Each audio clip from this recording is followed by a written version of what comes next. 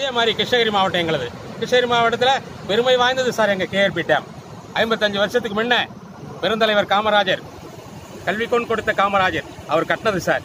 இது கட்டி முடிச்சு மீதி பணத்தை கவர்மெண்ட்டுக்கு செலுத்திக்கிறாங்கன்னா அவருடைய நல்ல ஒழுக்கத்தை பாருங்க. கான்ட்ராக்ட் எடுத்தவனும் ஒழுக்கமானவன் ஆளுங்கட்சியும் ஒழுக்கமானவர்கள். அதே மாதிரி இந்த நிலைமை என்ன? இன்னைக்கு வந்து மூணு மாசமா இந்த தண்ணி தேங்கி இருக்குது ஐம்பத்தி ஒரு அடி. இந்த ஐம்பத்தி ஒரு அடி தண்ணி இப்ப அந்த மதக்கு கதவு விடந்ததுனால தானா போய்கிட்டு இருக்கு வீணா போய்கிட்டு இருக்கு கடல்ல கலக்குது. விவசாயத்துக்கு தண்ணி தாக்குது அந்த தண்ணி இப்ப போய் விவசாயத்தை தாக்குது. அங்கங்க நெற்பயிரெல்லாம் மிதக்கிட்டு மிதக்கிட்டு இருக்குது. ஆனா இந்த நிலைமைக்கு காரணம் உயர் அதிகாரிகள். பேட்டி கொடுக்கிறார் உயர் அதிகாரி டேமுடைய அதிகாரி பேட்டி கொடுக்கிறாரு. ஏன் இந்த மாதிரி நடந்துச்சுன்னு கேட்டதுக்கு பலம் வாய்ந்த ஒரு பொருள் அந்த கதவு தாக்கிச்சு. அதனால தான் கதவு உடஞ்சிடுச்சுன்றாரு. சார் மூணு மாசமா தண்ணி தேங்கிச்சு.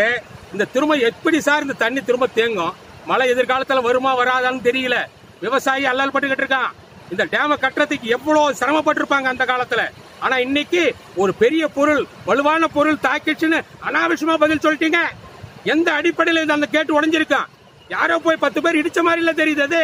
அதாவது எதிர்காலத்திலேயாவது அதிகாரிகளாகட்டும் பொதுமக்களாகட்டும் இந்த மாதிரி நடந்ததுக்கு ஒரு கண்டனம் தெரிவிக்கணும். கண்டனம் தெரிவிச்சாதான் இது மாதிரி தவறு நடக்காது. இது யோசனை பண்ணி பாருங்க. எனக்கு பின்னாடி அந்த கதவு எடுத்துக்கிட்டு இருக்காங்க பாருங்க. அந்த கதவு அவ்வளோ போர்ஸா வந்த பொருள் அங்க என்ன இருக்கும் இல்ல திமிங்கலம் மாதிரி எதனா வந்துச்சா பெரிய திமிங்கலா? அந்த திமிங்கலம் வந்து அந்த கதவு உடைச்சிடுச்சுன்னு சொல்றீங்களே எந்த வகையில நியாயம்? மூணு மாசத்துக்கு முன்ன ஒரு கோடி இருபத்தஞ்சு லட்சம் ரூபா மெயின்டெனன்ஸ் செலவுன்னு எடுத்திருக்காங்க. ஆனா மெயின்டெனன்ஸ் என்ன பண்ணீங்கன்னு அவர் கேட்டதுக்கு நாங்க பெயிண்ட் அடிச்சுன்னு சொல்றாரு.